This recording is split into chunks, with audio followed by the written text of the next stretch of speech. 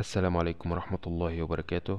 معاكم محمد طليبة. إن شاء الله هنشرح أول chapter في ال parasitology اللي بعنوان Fasciola species أو Fasciola spp لكن قبل ما نبدأ هنراجع جزء في ال introduction to parasitology اللي كان في الفيديو اللي فات. medical helminthology أو علم دراسة الديدان الطبي. كنا قلنا إن ال helminths أو الديدان بتنقسم لشعبتين two phyla الشعبة الأولى اسمها phylum Platyhelminthes اللي هي flat worms أو ديدان مسطحة. ودي بتصنف لمجموعتين class Trematoda اللي اسمه ال flukes أو المثقبيات و class Cestoidea و subclass Cestoda اللي هو ال tape worms أو الديدان الشريطية. الشعبة التانية اسمها phylum Nemathelminthes اللي هي ال round worms أو الديدان المستديرة. ودي فيها مجموعة واحدة اسمها النيماتودا. عندنا ال class Trematoda أو ال flukes المثقبيات زي ما قلنا إن دي مجموعة من ال Platyhelminthes أو ال flat worms الديدان المسطحة ال general characteristics بتاعتها أو الخصائص العامة بتاع ال class Trematoda أو ال flukes وعلى فكرة أنا أعتقد إن هو غلطان هنا إن هو كاتب general characters يعني شخصيات عامة يعني المفروض characteristics فهيكون معناها خصائص أو صفات عامة. أول صفة dorsoventrally يعني مسطحة من الوجهين الخلفي والأمامي.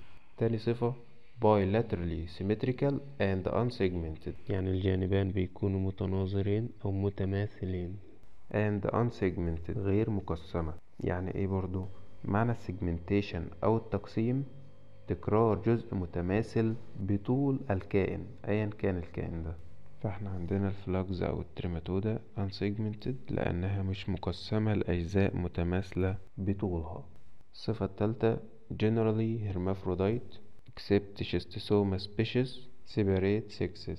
يعني بشكل عام ال class Trematoda أو ال flukes جنسها بيكون خنثى يعني بيكون فيها الأعضاء الجنسية المذكرة والمؤنثة. ما عدا الشيستوسوما أو البلهارسيا جنس منفصل يعني الذكر لوحده والأنثى لوحدها. رابع صفة organs of fixation in the form of suckers يعني الأعضاء المثبتة بتكون شكل المصاصات. The life cycle is passed in two hosts يعني دورة حياتها بتمر بعائلين. The definitive host man or other animals يعني العائل النهائي بيكون الإنسان أو الحيوانات الأخرى. And the intermediate host snail يعني العائل الوسيط بيكون حلزون أو قوقع اللي هو snail طبعا كل الخصائص دي موجودة في جميع أنواع ال class Trematoda أو ال flukes ما عدا إن ال Schistosoma أو البلهارسيا بتكون separate sexes يعني عندنا حاجة ثابتة إن ال intermediate host بيكون snail وال definitive host بيكون إنسان أو حيوان. دي سادس وآخر خاصية لل class Trematoda أو ال flukes infection mainly by larval stages entering intestinal tract in some species and through skin in others.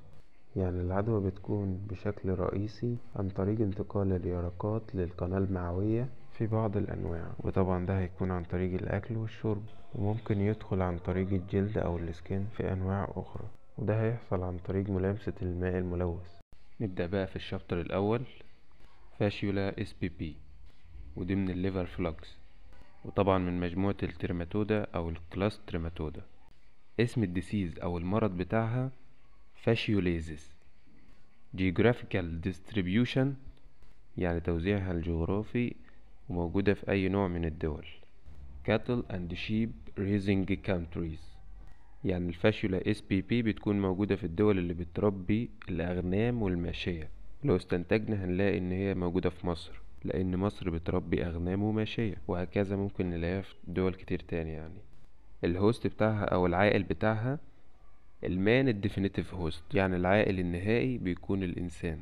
herbivores animals as cattle sheep and buffalo reservoir host.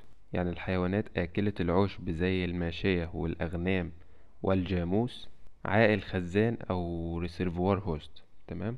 يعني بيكون زي ال definitive host كده بس بيكون في حيوان مش في إنسان. والحيوان اللي هو ال reservoir host ده بيكون من المصادر المهمة جدا لنقل العدوى من خلاله. And snail intermediate host يعني القوقع أو الحلزون بيكون العائل الوسيط. زي ما اتفقنا في المقدمة إن دايما القوقع أو ال snail أو الحلزون بيكون هو ال intermediate host أو العائل الوسيط في أي نوع من ال flukes أو ال class Trematoda عندنا ال habitat أو المكان اللي بيعيش فيه في الإنسان اللي هو طبعا ال definitive host بتاعه bile ducts القنوات المرارية. ده ال habitat بتاعه أو المكان اللي بيعيش فيه في الإنسان. ال morphology أو شكل ال Fasciola spp في ال adult worm أو الدودة البالغة بتكون leaf like أو شبه ورقة الشجر. Measuring about 3 to 6 centimeter in length and 1 to 2 centimeter in width. يعني طولها بيكون من 3 ل 6 سنتيمتر وعرضها بيكون من 1 ل 2 سنتيمتر. and hermaphrodite يعني خنثى الجنس. زي ما قلنا برضو في المقدمة إن جميع ال flukes أو ال class Trematoda بيكون hermaphrodite أو خنثى. ما عدا الحالة الوحيدة اللي هي ال Schistosoma بتكون separate sexes يعني الذكر لوحده والأنثى لوحدها جنس منفصل. وده كان ال adult worm أو الديدان البالغة. عندنا الإج أو البيضة بتاع ال Fasciola spp large يعني ضخمة oval بيضاوية thin shell يعني الصدفة بتاعتها أو القشرة بتاعتها بتكون رقيقة operculated يعني بتكون سطحية أو مسطحة yellowish brown يعني لونها بيكون بني مصفر وده بيكون زي لون طبعا ال bile أو الصفراء. contains immature ovum يعني بتحتوي على بويضة غير ناضجة. بعد كده life cycle أو دورة حياة ال Fasciola. The adult worms live in bile ducts of man. يعني الديدان البالغة بتعيش في القنوات المرارية للإنسان. And herbivorous animals. وبرضه بتعيش في القنوات المرارية للحيوانات آكلة العشب. لكن الإنسان بنسميه definitive host وال herbivorous animals بنسميها reservoir host. Fertilized female lays eggs. يعني الأنثى الملقحة بتضع البيض في مرحلة ال diagnostic stage المرحلة التشخيصية أو مرحلة اكتشاف المرض which come out with feces. لأن البيض اللي بتضعه ال fertilized female ده بينزل مع ال feces أو البراز. علشان كده اسمها ال diagnostic stage لأن من خلال ال feces بنعمل تحليل ليها فبنعرف المرض الموجود eggs need two weeks for development in certain environmental conditions in fresh water and then hatch liberating miracidia يعني ال eggs أو البيض بيحتاج لأسبوعين علشان ينمو في ظروف بيئية معينة في ال fresh water أو المياه العذبة. وبعد كده بيحصل له hatch أو بيفقس وبيحرر لنا miracidia اللي هو الطفل يعني بتاع ال Fasciola miracidium enters snail intermediate host يعني ال miracidium لما يدخل القواقع أو الحلزون بيكون intermediate host أو عائل وسيط. And develops into cercaria leptocercus cercaria وبيتطور أو بينمو ليصبح سيركاريا والحالة دي اسمها leptocercus cercaria. ال slide اللي بعده life cycle of Fasciola spp دورة حياة ال Fasciola. نبدأ من رقم واحد unembryonated eggs يعني بيض unembryonated يعني مفهوش جنين. وده بيكون في ال feces وده بينزل في ال feces بتاعة الحيوان أو الإنسان. بعد كده بيتحول ل eggs embryonated أو فيها جنين في المياه العذبة أو ال fresh water miracidia hatch from eggs seek out snail intermediate host. ال miracidia بتفقس من البيض وبتبحث عن العائل الوسيط بتاعها اللي هو الحلزون أو ال snail.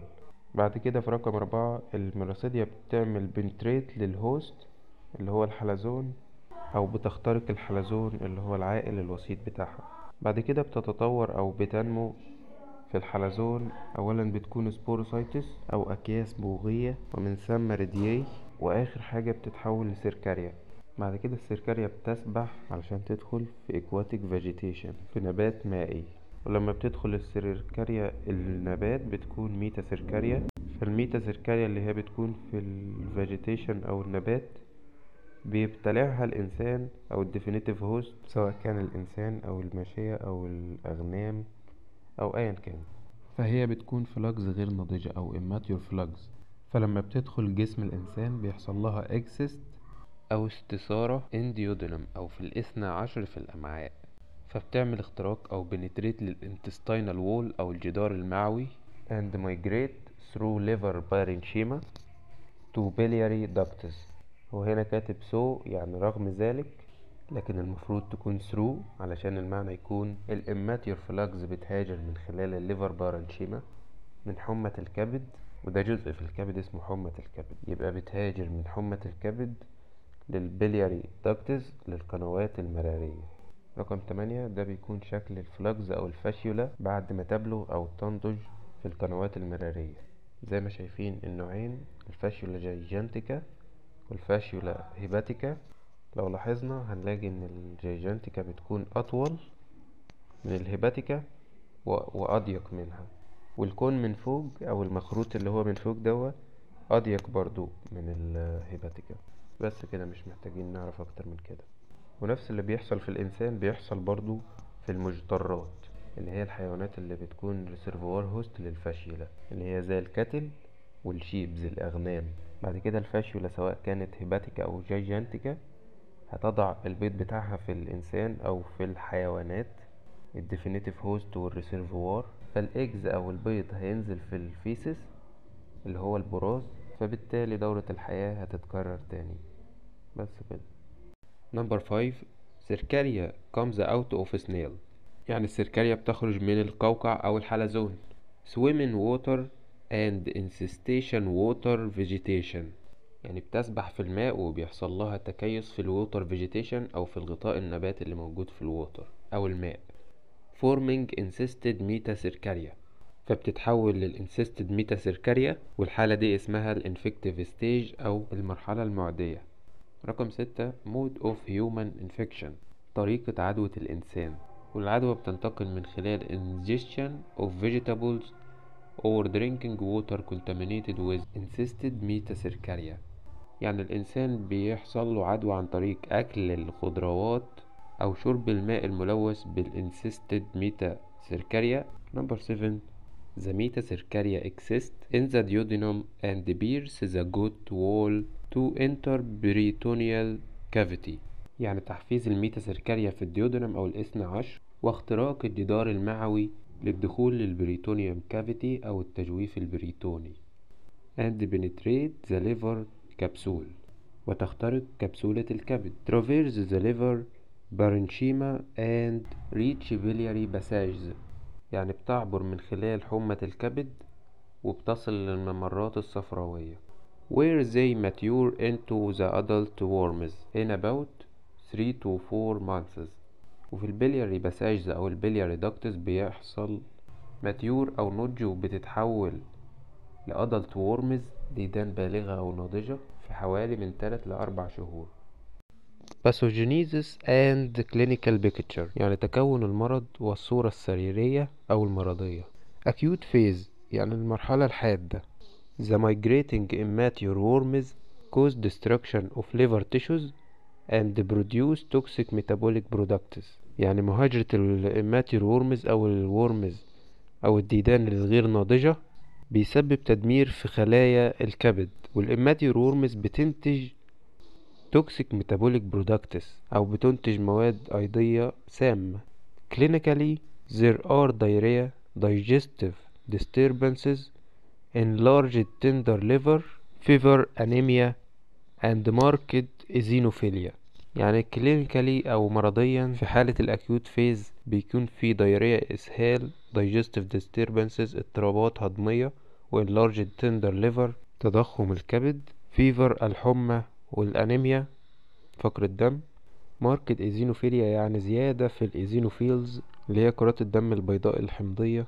وده طبعا بيكون كاستجابة مناعية أو حساسية من الديدان. رقم اتنين chronic phase المرحلة المزمنة. It is due to migration of adult worms through biliary tracts leading to obstructive jaundice. يعني المرحلة المزمنة بتكون بسبب هجرة أو مهاجرة الأدلت وورمز الديدان البالغة من خلال ال biliary tracts أو الممرات الصفراوية. وده بيؤدي إلى اليرقان الانسدادي أو ال obstructive jaundice leading to obstructive jaundice abdominal and digestive disturbances. يعني بيسبب ال jaundice أو اليرقان الانسدادي واضطرابات في البطن والجهاز الهضمي. migrating worms may reach abnormal site. يعني الديدان المهاجرة ممكن تصل لمواقع غير طبيعية. والحالة دي بنسميها ectopic foci يعني بتكون خارج الرحم بتاعها أو مكانها أو موقعها الطبيعي. And form abscesses in different parts of the body. فنتيجة إن هي مش في موقعها الطبيعي بتكون خراجات في مواقع مختلفة من الجسم. Diagnosis. إزاي بنعمل تشخيص أو كشف للمرض؟ أول حاجة clinical diagnosis كشف سريري وده بيكون عن طريق ال clinical picture الصورة المرضية أو السريرية وده شرحناه في ال slide اللي فات. تاني diagnosis ال laboratory diagnosis الكشف أو التشخيص المعملي. أول حاجة ال direct method أو الطريقة المباشرة وده من خلال examination of stool for eggs. يعني فحص ال stool أو البراز إذا كان فيه eggs أو لأ. لأنه لو في eggs أو بيض هنشخص المرض أو هنكتشف ال parasite أو الطفيل. ودي هتكون direct method أو طريقة مباشرة. لكن ال indirect method أو الطريقة الغير مباشرة بنعمل immunodiagnosis يعني تحليل أو تشخيص مناعي detection of cobro antigen in stool or circulating antibodies in patient's serum for example I had ELISA IFAT طبعا دي اختصارات I had اختصار Indirect Hemagglutination Assay Test وإليسا وده اختصار Enzyme Linked Immunosorbent Assay آخر حاجة IFAT اختصار Indirect Fluorescent Antibody Test. وكل دي فحوص وتحاليل لل immuno أو المناعة أو ال antibodies علشان نكتشف من خلالها بطريقة غير مباشرة ال parasite أو الطفيل. تالت حاجة في ال laboratory diagnosis radiographical diagnosis التشخيص الإشعاعي أو التشخيص بالأشعة. ultrasonography and cholangiography يعني التصوير بالموجات فوق الصوتية وتصوير الأقنية يعني إيه؟ يعني ال cholangiography دي معناها تصوير ال bile duct الممرات الصفراوية وال gall bladder الحويصلة الصفراوية. واستخدمناه هنا علشان ال Fasciola بتكون في الحويصلات المرارية أو الممرات المرارية. ده معنى cholangiography أو تصوير الأقنية الصفراوية. وال treatment triclabendazole نركز في ال treatment. ال treatment العلاج اللي هو triclabendazole prevention and control يعني إزاي نقي نفسنا من الأمراض دي. أول حاجة treatment of infected animals and men. يعني لو في أي حالة عندها العدوى سواء كان إنسان أو حيوان نعالجه. وزي ما قلنا ال treatment أو العلاج triclabendazole تاني حاجة health education يعني التعليم أو التثقيف الصحي. يعني لو حد متعلم أو عارف العدوى إزاي بتنتقل هياخد باله وما يعملش الحاجات اللي هي ممكن تنقله العدوى. تالت حاجة proper washing of raw vegetables. يعني غسل الفواكه بطريقة صحيحة عشان ما ينتقلش من خلالها ال parasites رابع حاجة safe water supply or boiling water before drinking. يعني نتأكد إن المية اللي بنشربها دي نظيفة أو آمنة للشرب أو ممكن نغلي المية قبل ما نشربها علشان ال parasites أو ال contamination يروح منها. خامس حاجة elimination of water vegetation يعني التخلص من الغطاء النباتي المائي يعني التخلص من النباتات اللي هي بتكون على المية تمام؟ لأننا قلنا إن السيركاليا بتنتقل من خلال المية. سادس حاجة snail control يعني نسيطر على الحلزون أو نقلل منه لأنه بيكون ال intermediate host لل Fasciola. بس كده ده كان إزاي نقي نفسنا وغيرنا من المرض ده اللي هو لو فاكرين اسمه fascioliasis بعد كده الهلزون أو الحلزون. خلي بالكم إن ده مرض اسمه هلزون مش حلزون. تمام؟ والاسم العلمي ليه pharyngeal fascioliasis يعني مرض المتورقات البلعومي أو مرض ال Fasciola البلعومي. It is a mechanical suffocation occurring in countries used to eat raw liver. As Lebanon, Syria and North America. يعني ال pharyngeal fascioliasis عبارة عن اختناق ميكانيكي وبيحدث في الدول اللي هي معتادة إن هي تاكل ال liver أو الكبد نيء أو ني. يعني بياكلوا الكبد من غير ما يطبخوه. من أمثلة الدول دي أمريكا الشمالية وسوريا ولبنان. If the liver is infected with Fasciola the immature worms may attach themselves to the pharyngeal mucosa. يعني لو الليفر اللي بياكلوه نيء ده سواء كان بتاع ماشية أو أغنام وفي عدوى الفاشيولا. ده هيخلي ديدان الفاشيولا الغير ناضجة اللي موجودة في الكبد تلتصق بالغشاء المخاطي البلعومي causing edematous congestion of the pharyngeal and surrounding areas. فلما هتلتصق بالغشاء المخاطي البلعومي هيسبب edematous congestion يعني هيسبب احتقان متورم في البلعوم والمناطق المحيطة به leading to dyspnea. هيؤدي لضيق في التنفس dysphagia يعني عسر في البلع asphyxia يعني اختناق بسبب نقص الأكسجين. alcoholics may relieve this condition. يعني مدمنين الكحول أو إدمان الكحول ممكن يخفف الحالة دي. طبعا إدمان الكحول حاجة مش حلوة نهائيا ولو ليها فوائد بتكون أقل بكتير جدا من أضرارها. and in severe cases surgical interference should be resorted. يعني لازم نلجأ للتدخل الجراحي في الحالات الشديدة. كده الحمد لله خلصنا الهلزون أو ال pharyngeal fascioliasis thank you أتمنى تكونوا استفدتم. ولو استفدتم ما تنسوش تعملوا share للأصدقاء. وكما قال رسول الله صلى الله عليه وسلم من دل على خير فله أجر فاعله. شكرا. والسلام عليكم ورحمة الله وبركاته.